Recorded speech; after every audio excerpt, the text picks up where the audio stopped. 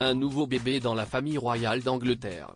Les princes Harry et William ont, depuis quelques mois, un nouveau petit cousin. En effet, leur cousine germaine, Kitty Spencer, qui est la nièce de Lady Diana, a eu un enfant. Très discrète sur sa vie privée, on ne savait pas qu'elle était devenue maman pour la première fois. Ce dimanche 10 mars, les Anglais célèbrent la fête des mères. Pour l'occasion, Kitty Spencer a dévoilé sur Instagram une tendre vidéo avec son bébé. Les 716 000 abonnés de Kitty Spencer ont appris l'heureux événement en découvrant la jeune femme posant avec son bébé, sur une plage, cheveux au vent.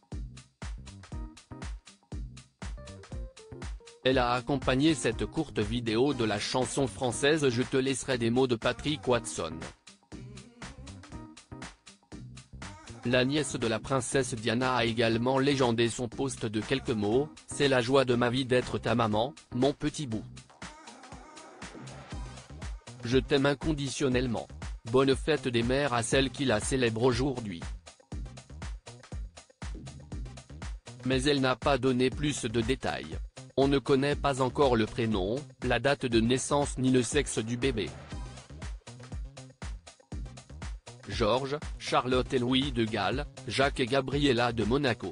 Les bouilles les plus mignonnes des enfants du Gotha Kitty Spencer est mariée avec Michael Lewis, de 32 ans son aîné Kitty Spencer a fêté ses 33 ans, le 28 décembre dernier. Depuis quelques années, elle vit un véritable conte de fées aux côtés de son mari Michael Lewis, de trois décennies son aîné. Le 24 juillet 2021, la nièce de Lady Diana a dit oui à ce milliardaire, lors d'une somptueuse cérémonie organisée à Rome.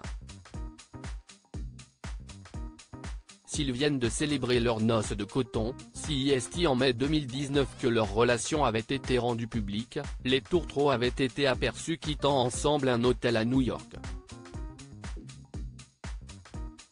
Néanmoins, ils auraient commencé à se fréquenter dès 2018. Michael Lewis, aujourd'hui âgé de 63 ans, est un homme d'affaires. Père de trois enfants issus d'un premier mariage, le magnat de la mode est président du groupe Foschini depuis 2015. Propriétaire d'un manoir de 19 millions de livres sterling dans le centre de Londres, ainsi que d'une autre maison au Cap en Afrique du Sud, il serait à la tête d'une fortune d'environ 94 millions d'euros, comme l'a révélé le magazine Hello. Article écrit en collaboration avec 6 médias Crédit Photo, Bestimage.